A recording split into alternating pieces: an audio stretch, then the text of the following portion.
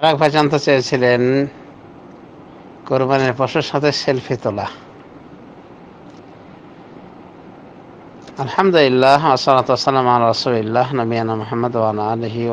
আজমাইন। সেলফি তোলা দুই ভাবে হতে পারে, একটা হলো অসম্মান করে পশুকে। সেলফি তোলা যেমন তার পিঠে উঠে উল্লাস করা বা তার গর্দানে পা রেখে তাকে মানে অসম্মানী করা। তো এগুলি অবশ্যই মানে তাকুয়ার পরিপন্থী কাজ। যেটা মোটেও উচিত নয়। মোহান রব্বুল বলেন আজম শাহ আল্লাহ ফাইন্নাহা তাকওয়াল কুলুব। যারা আল্লাহর ধর্মীয় প্রতীক সমূহকে তাজিম করে এটা তো হৃদয়ের স্বচ্ছতা থেকেই হয়ে থাকে।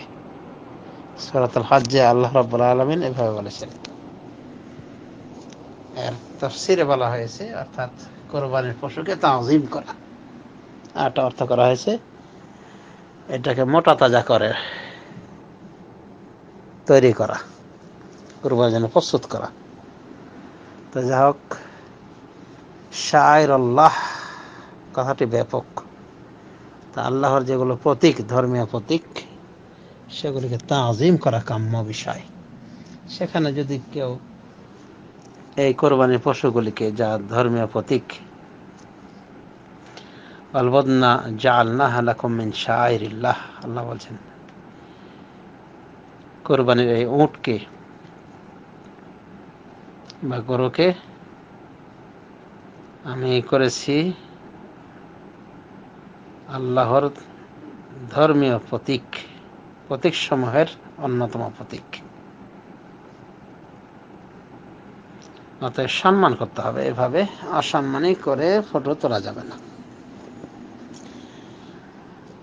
তো এহানত করে কোরবানি পশুকে অসম্মানী করে, লাঞ্ছিত করে এহানত করে ফটো তুললে এটা তো না জায়েজের পর্যায়ে চলে গেল।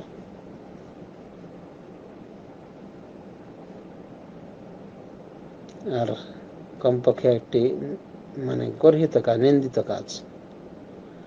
আর যদি এমনি ফটো তোলা হয়, হয়তো রিপোর্টের জন্যে। হয়তো কোনো দাতা দিয়েছে, ফটো তুলতেছে সে দাতাকে দেখানোর জন্যে। নিশ্চিত হওয়ার জন্য, যাতে করে কোরবানিটা আসলে জবাই করা হয়েছে, যেভাবে নির্দেশনা দেওয়া হয়েছিল। এরকম প্রয়োজনে যদি তোলা হয়, অসুবিধা নেই, ইনশাআল্লাহ। অনুভবে যদি কেউ তোলে, যদিও এটা তোলার প্রয়োজন নাই, বেহুদা কাজ। তারপরেও সেরকম গুণা এখানে হবে না। যদি পশুকে এহানাত করার উদ্দেশ্য না হয় এবং এহানাতের মতো কোনো অবস্থান না নেওয়া হয় এই কুরবানি পশুর সাথে, তাহলে বলা যায় এটা একটা মানে অহেতুক কাজ, কিন্তু এরপরও এটা কবিরা গুনাহের অন্তর্ভুক্ত হবে না। এরপর এড়িয়ে চলাটা ভালো। আল্লাহ রব্বুল্লাহ আমিন মোমিনদের পরিচয়, খাঁটি মোমিনদের পরিচয় বলেছেন, কদ আফলাহাল মুমিনুন মোমিনগণ সফল কাম হয়ে গিয়েছে। আল্লাযীনা হুম ফি সালাতিহিম খাশিউন, যারা নিজেদের সালাতে হয় বিনয়ী। ওয়াল্লাযীনা হুম আনিল লাগওয়ি মুরিদুন, এবং যারা বেহুদা কাজ, অনর্থক কাজকর্ম থেকে, কথা থেকে বিমুখ থাকে। কাজে এগুলো অনর্থকের ভিতরে পড়ে এরপরে যদি কেউ তোলে মানে যথাযোগ্য যথাবিহিত সম্মান প্রদর্শন করে এই পশুগুলির প্রতি তাহলে আশা করা যায় যে এটা ক্ষমা নজরে দেখা হবে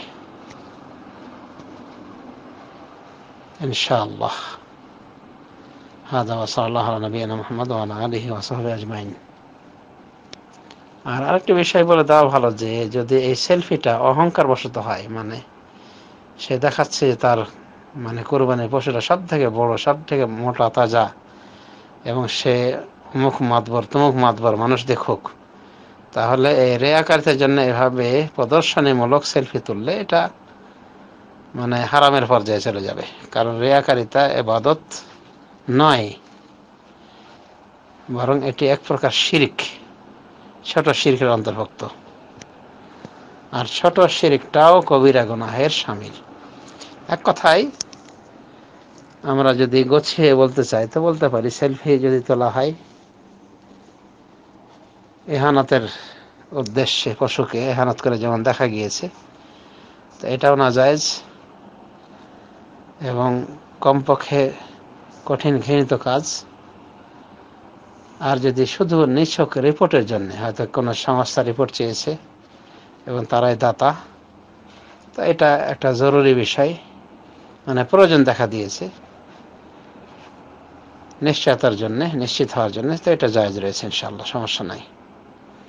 আর যদি সেলফি এমন হয় যে অহংকার প্রদর্শনের উদ্দেশ্য মানে দেখাতে চাচ্ছে যে তার কোরবানির পশু সব থেকে বড়, মোটা, তাজা মিডিয়াতে প্রকাশ করতে চাচ্ছে এক কথা রিয়াকারিতা উদ্দেশ্য।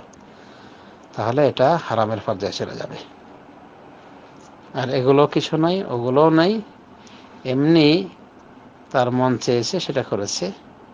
এটাকে কিছু কিছু আলামা একরাম এই জাতীয় ফটোকে মাবা হাতের ভেতর নিয়েছেন। তবে এগুলি বেহুদা মাবা হাত মানে অনর্থক বিষয়। যা পরিত্যাগ করাই উচিত। অর্থাৎ পরিত্যাগ করাটাই হলো উত্তম। আল্লাহ তালা আলম আসাল্লাহ নবীন মোহাম্মদ আলহি ওসহাবি আজমাইন। আসসালামু আলাইকুম রহমতুল্লাহ